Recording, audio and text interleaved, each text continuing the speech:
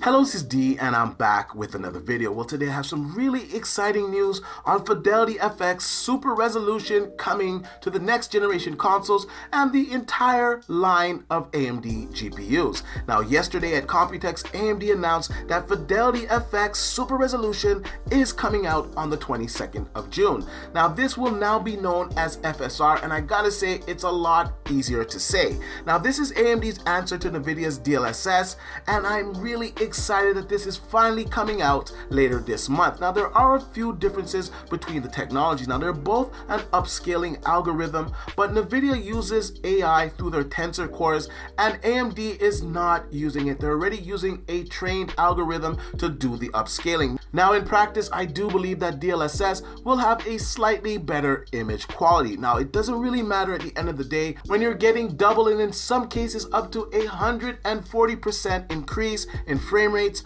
At the end of the day, if both image qualities are very close, I don't think it makes a huge difference. Now, I think this is gonna make a huge difference on the consoles. Now, there's a lot of console games that are running at 60 FPS, 120 FPS. I gotta say that most games are not really running at 30 FPS. Now, the titles that do tend to run at 30 FPS on these next generation machines is the ones that have ray tracing enabled. Now, FSR will allow you to have higher frame rates in games that are running ray tracing. Now, AMD did a demonstration with their 6800 XT and with Godfall with ray tracing turned on. Now, as you can see, you have a whole host of presets that you can choose from. You can choose the quality preset as well as a ultra quality preset, a balance preset, and a performance preset. Now, natively, it was getting 49 frames per second. Now, when you choose the ultra quality, you were getting 78 frames per second, 99 frames per second on the quality preset, 124 on balance, and 150 FPS on performance.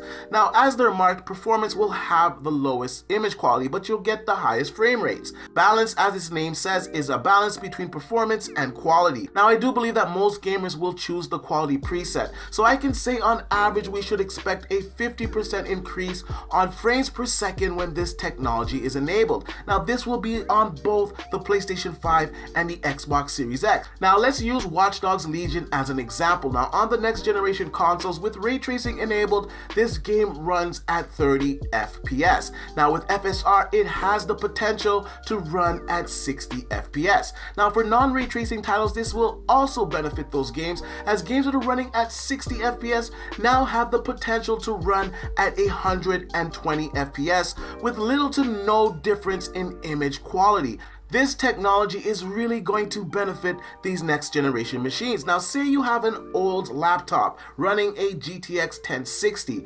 This will also be enabled on that laptop if the game supports FSR technology. If you have a GTX 1080 on the PC, you can also use this technology on it. You can use it on the entire RTX line of graphics cards. I really have to commend AMD for allowing this to be open source. This will allow for adoption to happen a lot quicker as you don't have to jump through all these hoops, developers will get more experience with it, and of course it will be widely adopted. I have to say I'm really excited for FSR on the next generation consoles. Now I own a 6800 XT on the PC, and with ray tracing turned on, I don't get the optimal performance I would like on that GPU. Now with FSR, I could get 60 and above with ray tracing turned on, so I can't tell you enough how exciting this technology technology is Finally, DLSS has some competition from AMD's FSR, and I can't wait to see it in action on June 22nd. Now, in closing, I gotta say once again, this is really exciting that it's coming to the next generation consoles. Now, I do have a few questions left.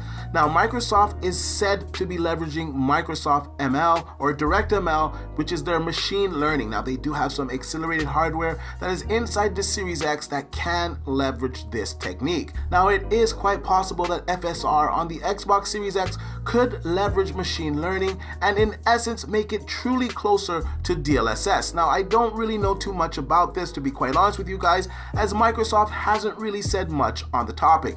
Now if they were to be doing something I do believe that E3 would be the perfect place to announce this as FSR is coming out on the 22nd of June.